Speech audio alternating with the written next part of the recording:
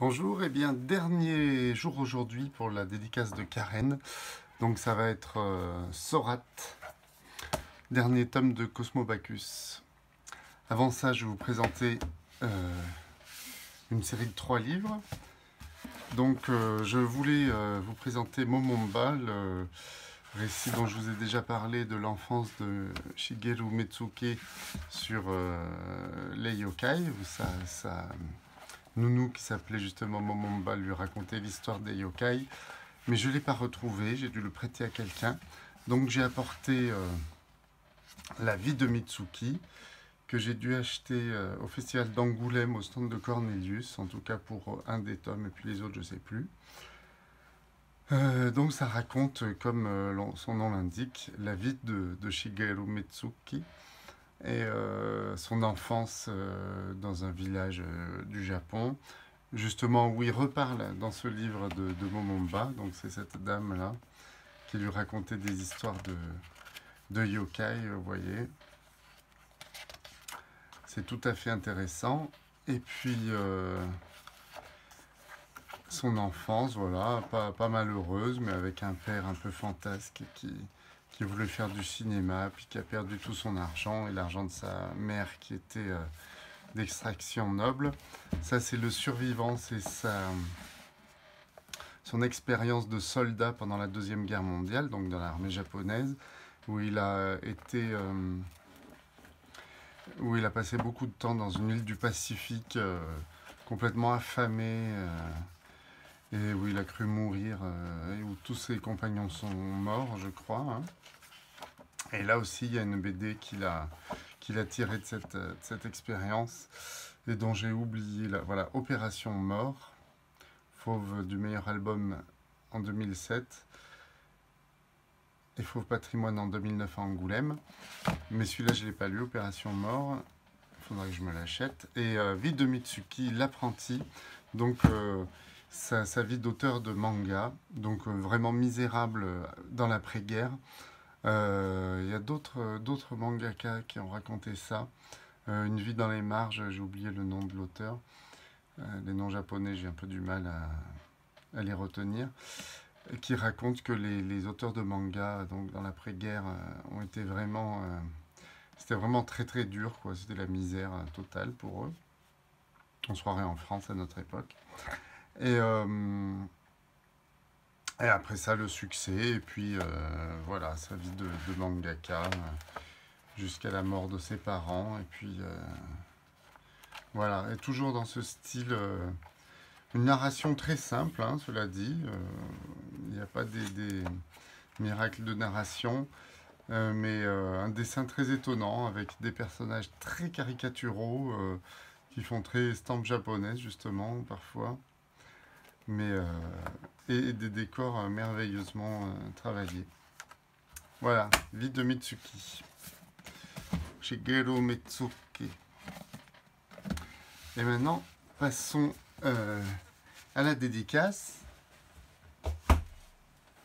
Et pendant ce temps-là, on va écouter un entretien que j'ai eu avec la vigneronne en biodynamie qui avait au Salon Vivre Nature à Toulouse à qui j'ai acheté du vin, qui était très sympathique, et euh, avec qui on a un peu discuté de, de ce qu'elle faisait. Voilà.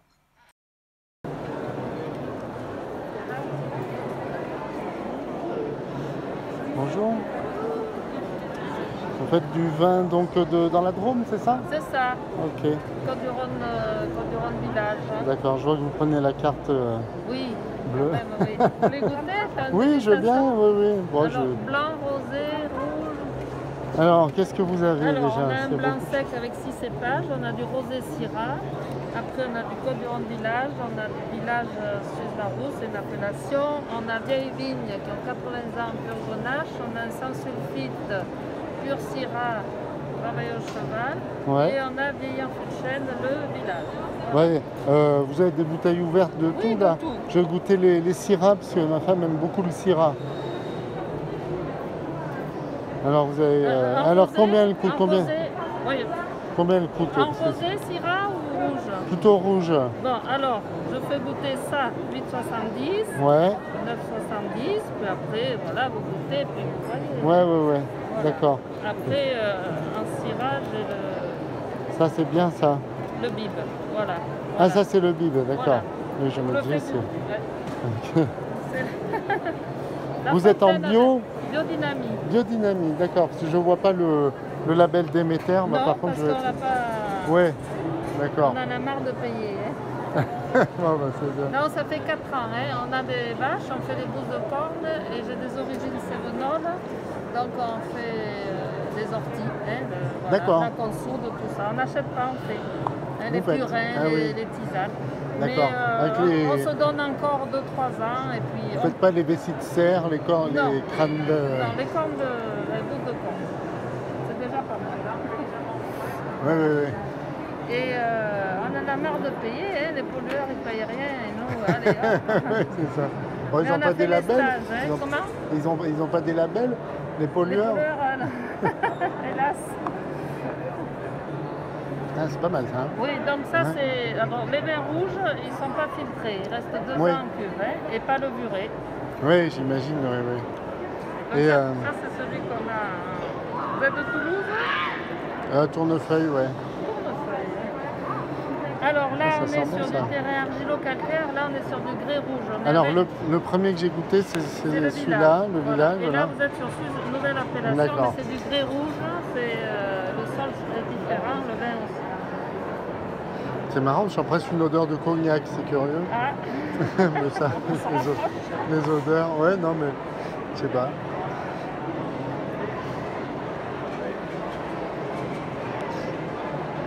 Ah oui, c'est différent, c'est plus.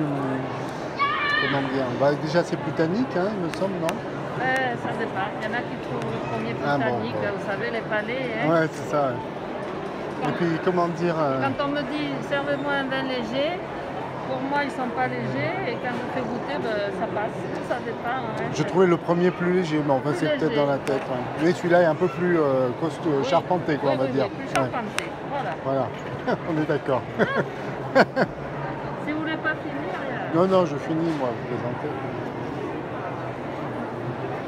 Et alors, moi, je m'intéresse beaucoup à la biodynamie. Je vous montrerai, j'ai fait une BD là-dessus.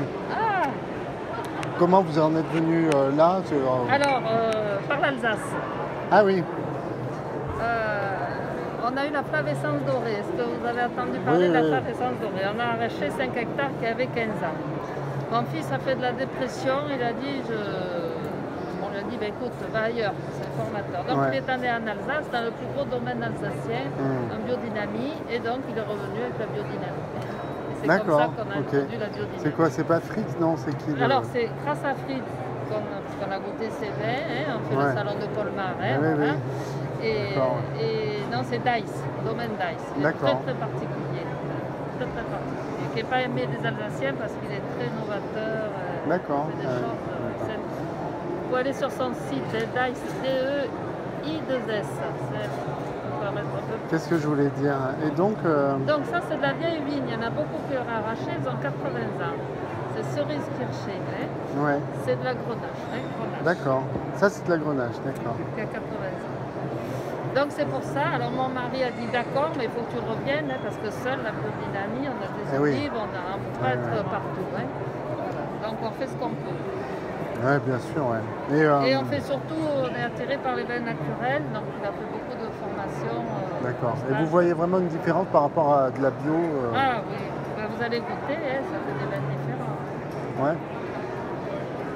Donc ça c'est puissant, hein, c'est Mm. c'est de la matière, hein, forcément. Hein.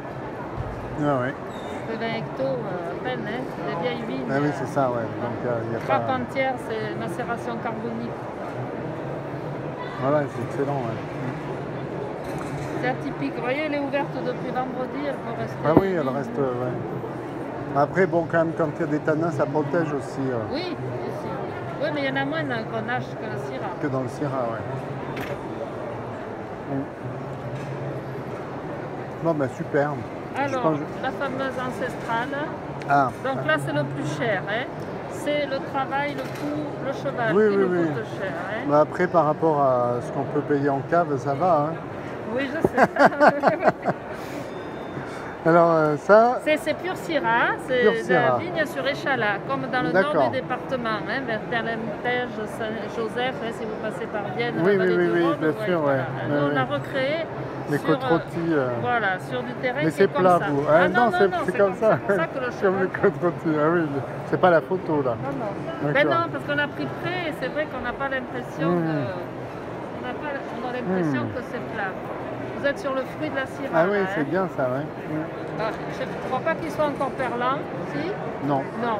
Parce que quand on l'ouvre, il est chargé en gaz carbonique D'accord. naturel. Ah C'est oui, ce qui mais le là- conserve 5 à 10 ans. C'est pas mal Et pour oui, un vin ça. nature, hein, quand même. Ah oui, oui, donc. euh, Donc il faut voilà, le carafer, l'ouvrir. Ouais, ouais. Et alors lui, il reste 3 semaines ouvert, sans perdre son bouquet, par rapport D'accord. aux autres qui ont un petit peu de, de sulfite. D'accord. Ça, Ça, ça hein. vous embête si je vous euh, filme un peu Parce que j'ai une chaîne YouTube comme je Ah, fais des dédicaces. Non, mais pour parler un peu de biodynamie. Oui, Hein? Ça vous embête? Attendez, finissez là. Oui, oui, mais je, je- je vais la prendre celle-là, c'est pour ça. Ah, Je, vais en prendre, je suis en vélo, je vais en prendre qu'une malheureusement, mais bon.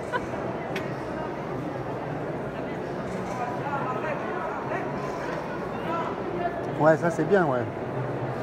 Alors pour ceux qui sont intolérants au... Magnifique, hein, au sulfite, hein, ils peuvent Ah oui, oui, ah bah oui, oui. Là c'est sans sulfite. Ah oui, oui, Ah. sans sulfite ajouté. On en fait oui. depuis 2013 et il y a une cuvée qui est partie à l'égout une année où, voilà, hein, parce qu'il faut Ah oui, oui, l'anticyclone, ouais. il faut tout un... Oui, des fois quand la bière, la brétanocyte là se Voilà, tombe oui, dedans, oui, oui, oui. on peut rien faire. Mais bon, Mais ouais. il y en a, oui. Alors je ne sais pas si vous aimez vieillir en de chêne, c'est le premier que vous avez goûté. Même Oui. si vous n'aimez Ah pas, oui. vous goûtez. ouais. Ah oui, oui, j'aime bien, en chêne c'est bien aussi, ouais. Bon, Donc il y a encore du fruit rouge, vous verrez quand même. Mais vous est rajoutez pas de, vous rajoutez pas de, comment, de bois, de, de de- bois, de- ouais, de sucre de bois dedans. de domino. non, par contre, il est passé dans trois fûts. Un fût qui a eu un vin, deux vins et trois vins. D'accord. Pour que ce Il soit a pas, trop il y a agressif. hein, on n'est pas en. Bourgogne. Quand le fût neuf, c'est sur un blanc, mais que je n'ai pas porté, on fait un blanc et un fût de chêne. Ah oui, il a une odeur en particulier celui-là.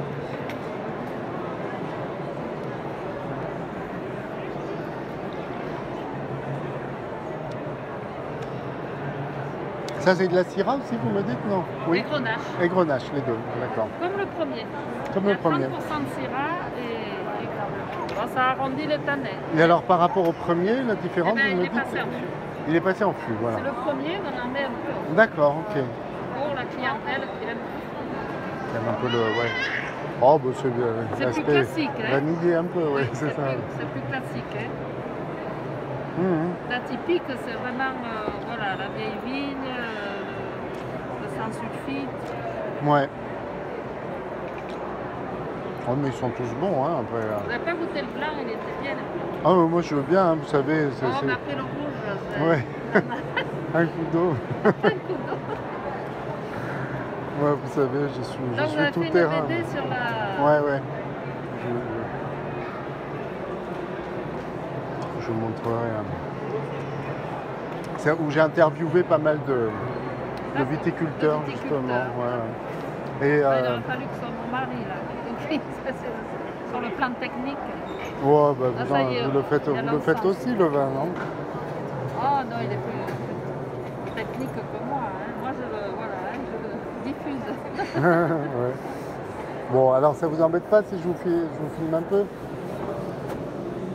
La mascarade. Hein? Non. Oui, parce qu'il y a le masque, vous dites ça. c'est un collègue qui m'a dit pour ton premier salon. Bon, après, je fais ça, c'est un peu en amateur. Non, je vais le mettre comme ça plutôt, donc c'est tranquille, hein, c'est cool. hein. Voilà. Euh, donc vous êtes le domaine. Domaine de Chêne Chêne vert, Vert, la chêne- 11e génération en Drôme provençal. D'accord. Sur euh, euh, deux terroirs, enfin un vignoble Côte-du-Rhône, Côte-du-Rhône village et là au Peignon sur l'olive noire.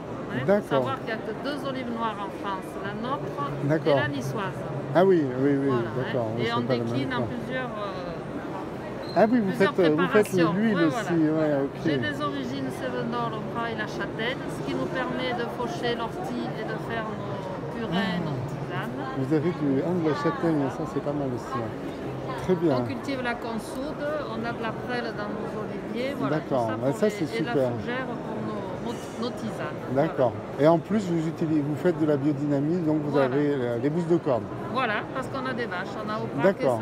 Ah oui, et donc vous, les, vous leur euh, coupez les cornes et, euh, Non, non, pas les nôtres, non, on les récupère après, parce que nous on veut les cornes. et vous récupérez les bousses par contre. Non, non, on les fait, mais on récupère des cornes. Voilà. Oui, c'est ça, oui. Je veux dire, vous récupérez vos bousses, mais Voilà. vous n'avez pas Voilà, les oui, cornes, oui. vous les prenez ailleurs. ouais. Et oui, c'est toujours ça le problème, Alors c'est de se procurer voilà, des nos cornes. ouais. compostages, on les fait avec de la drèche, c'est-à-dire des, des déchets de bière. On a une bière artisanale à Nyons qu'on mélange à du fumier de cheval et qu'on laisse composter. Donc c'est très azoté. Voilà. De, de- C'est-à-dire, c'est du houblon, quoi, que vous... Ah non, c'est la, la drèche, c'est le- le- les déchets de, oui, de, de houblon. De houblon, ouais, c'est voilà, ça. hein. De, je vois pas le De nom. malt, non Oui, voilà, de De malt. malt, hein, ouais, voilà. ok. C'est très, très booster. On peut même en donner aux vaches. Et on Ok. le mélange euh, au fumier de cheval qu'on récupère euh, dans les écuries. hein, D'accord. voilà. Et on récupère également les levures de bière. Et alors là, c'est pour nos oliviers. Hein, D'accord, Des oligo-éléments ok. pour nos oliviers. hein, Ouais, ça, c'est intéressant. avec. euh, Et après, ce qui vous intéresse dans la biodynamie, c'est les aspects euh, justement de compost, de, de trucs comme ça, ou il y a aussi les aspects Oui, un peu oui, c'est plus... euh, plus que le bio. Ouais, les aspects un peu... euh, oui. après, vous avez le calendrier de Mariatune, les jours racines, les jours euh, Oui, fleurs, vous voilà, faites ça aussi, voilà. vous faites Quand on peut. C'est pour ça qu'il faut être deux. Je vous dis, fallait qu'il C'est ça. revienne hein, parce que. Et pas vous avez déjà lu, euh, vous lisez Steiner ou pas du tout Quel- Mon mari, là, mon fils. Il lit ça, d'accord, et ça lui plaît Oui, il, oui. il lit le... Oui, non, mais il a beaucoup appris en Alsace. Hein, euh, Ah oui. Dice, Ah ouais, c'est ça, ouais. Parce que ça va loin, Steiner, hein, Oui. si on creuse, euh, voilà, et donc euh, les, les- les ondes cosmiques, les, les esprits, enfin les, êtres élémentaux, je sais pas si vous... Voilà, si, si, Voilà. si. Ok, super. J'ai survolé, mais mon fils. euh, Ouais, ouais, d'accord. Moi, ce que je trouve intéressant, c'est surtout les aspects justement compost et tout. oui. Après, les aspects spiritualistes, on est plus ou moins... euh, Voilà, hein. On accroche. on accroche plus ou moins, mais bon, c'est ça ça qui... interroge beaucoup de. On participe à manifestation qui est nationale maintenant, qui était à l'initiative de la Drôme, c'est-à-dire de ferme en ferme. C'est porte ouverte de ferme en ferme, alors bio ou non bio. hein. Ouais, Et, et là, justement, donc on a un public, c'est au mois d'avril en principe, hein, le- les premières sorties, on a des familles, des publics, et qui s'interrogent. hein, voilà. Donc euh, là, mon mari leur explique bien la biodynamie, il a tous ses Ouais. composts, ses, ses orties et tout. Que c'est parce que pour les jardins, le purin d'ortie, tout ça, ça intéresse le Ah oui, oui, particulier. oui. hein, voilà. Faire comprendre, parce que pour eux, c'est biodynamie, c'est un mot. euh, oui, oui, bien sûr. hein. ouais, ouais, Les ok. gousses de vache, c'est- Ouais, bon après, bouse de vache, ça paraît logique, hein, mais bon, le, le- ce qui est curieux, c'est que ce soit si dilué finalement. euh, Voilà. Donc c'est intéressant, on prend plaisir à recevoir ce public et D'accord. enseigner un peu. euh, Voilà, on est la 11e génération, c'est des savoirs ancestraux. Pour vous dire que pour lutter contre, je parle un peu de l'olive, Oui, oui. pour lutter contre l'olive, la mouche de l'olive, euh, on avait, on avait des, des moutons qui mangent les olives véreuses piquées par cette olive Ouais, après la récolte. Voilà. ouais. Mais euh, il y a 4 ans, 5 ans, il y a eu une invasion de mouches. le- Les moutons, ça n'a pas servi. hein. Mais avant, les anciens, c'est ça. hein. Ils avaient Ah des oui, moutons ça, qui. La chrysalide ne se reproduisait pas et du coup, euh, Oui, il y avait oui. moins de mouches. Des Bah, quartiers, C'est-à-dire quand il y a de la biodiversité, ça s'équilibre un peu Voilà. plus, quoi, Voilà. quand c'est des monocultures, euh, c'est sûr. Et ça, c'est plus de la, de la, bon, de l'agriculture paysanne ou de la, presque de la permaculture, maintenant, on pourrait dire que de la Oui. biodynamie, qui est Bien sûr, un peu bien mais, Ok, bon, ben, c'est intéressant. Ils le faisaient peut-être pas pour ça, hein, parce que dans les fermes, il y avait le cochon, les moutons. Oui, les- oui, oui, mais ça se faisait, quoi. Ça se faisait Voilà, et, et ça le marchait. résultat, euh, ça marchait. ça marchait. voilà. Ok, bon, bah Voilà. écoutez, moi je vais vous prendre. euh, Bon, bah voilà, je m'en vais. Ça a été un peu compliqué. Je me suis fait jeter au moins deux ou trois reprises parce qu'ils voulaient pas être filmés, ce qui est un peu normal. C'est vrai que je ne demandais pas. J'arrivais en filmant, mais ils étaient un peu agressifs quand même. Là, à part la dame là qui était très sympa, bien qu'on vous dynamite, mais ça, me montre que. Voilà. Et euh, c'est bien barré quand même. hein. Quand on voit la foule qui s'y presse, ça dure trois jours le salon. Ça fait un peu peur. Et puis il y en a un autre la semaine prochaine. Alors il va falloir que j'affine mes techniques. En plus, comme je suis un peu timide, j'ai du mal à aller voir les gens. Voilà. J'ai acheté du vin à la dame. Du vin, de l'huile. Mais elle n'est pas Déméter, elle n'a pas de label, donc euh, ça ne donne pas d'argent à l'anthroposophie. Donc euh, moi, financer des petits euh, agriculteurs, ça me va bien. Allez, bye. Bon ben voilà Karen, j'ai fini vos dédicaces, donc je vais enfin pouvoir vous envoyer votre paquet avec vos 5 livres. Encore merci pour cette commande. Et euh, à tous les autres, euh, et à vous aussi, vous pouvez liker cette vidéo, euh, mettre le pouce, et puis je sais plus quoi, vous abonner, voilà, à mes vidéos. De toute façon, même si vous ne le faites pas, je pense que je continuerai quand même. Par contre, ce que je ferai, peut-être, c'est je regrouperai les commandes groupées dans une seule vidéo euh, en speed drawing euh, pour, euh, pour que ce soit un peu plus rapide. Quoi. Voilà. Et là, il faut que je commande d'autres BD, donc ceux qui attendent, il va falloir encore attendre un petit peu, je suis désolé. Merci, à bientôt, au revoir.